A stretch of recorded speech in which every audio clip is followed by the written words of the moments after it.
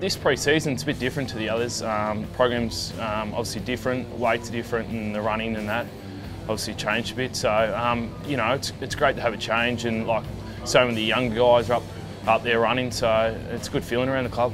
Just getting back into that routine, um, you know, going to bed early and getting all the rest and that and getting getting ready for training. So, um, you know, it's, it's great to be able to get into the pre-season once all the testing's done and just enjoy getting fit and obviously training with your teammates. Yeah, it's been, it's been good. The, the guys look after us. They know that we're younger players and that we can't necessarily handle as much. So, um, you know, I think they get a really good load on us and, and have us working hard but not um, overdoing it. So, yeah, first week's been good.